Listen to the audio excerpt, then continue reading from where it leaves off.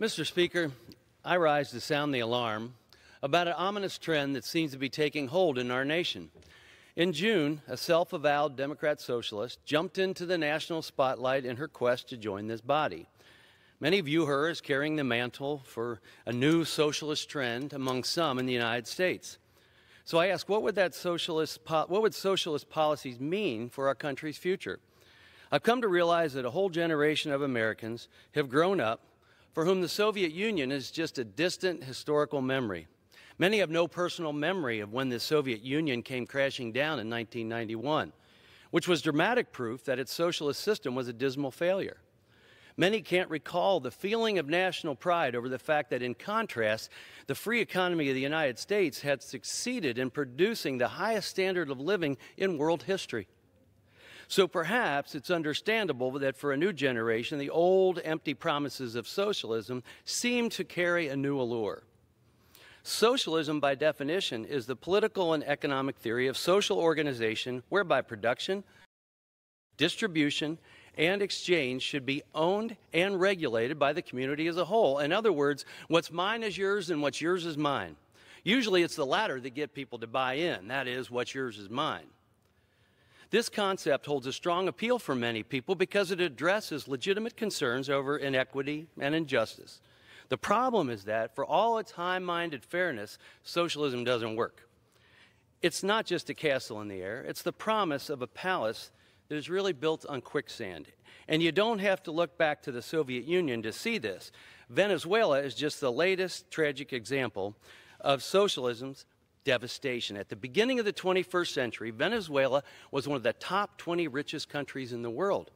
Today, its poverty rate is 87%, and its inflation rate is predicted to be approaching 1 million percent. Yes, 1 million.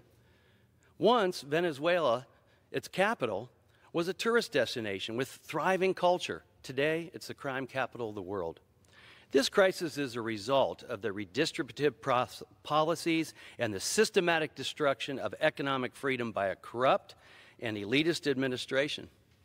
As President Trump said in his first speech to the United Nations General Assembly, the problem in Venezuela is not that socialism has been poorly implemented, but that socialism has been faithfully implemented.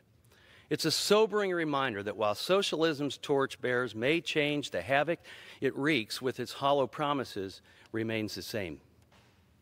What we must remember is that America is not immune. As President Ronald Reagan famously said, freedom is never more than one generation away from extinction. We didn't pass it on to our children in the bloodstream. Socialism, faithfully implemented, could cripple our nation's peace and prosperity over time, just as it did in Venezuela.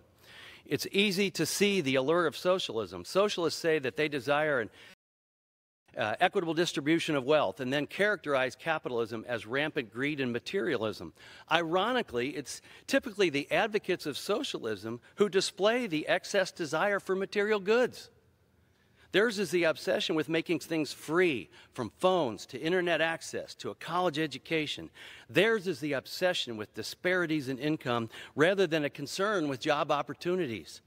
Socialism holds a strong appeal for many because it legitimizes coveting your neighbor's possessions, which was once commonly understood as against the 10th commandment.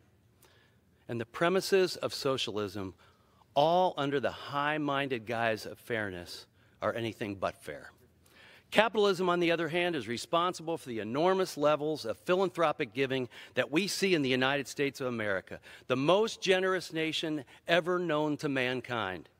We must continue to speak out boldly, not based on fear, but based on facts. We must continue to tell the truth regardless of its popularity, we must continue to implement policies that unleash the power of our free economy and create more opportunities for all Americans, like the recently passed Tax Cuts and Jobs Act with its bipartisan opportunity zones.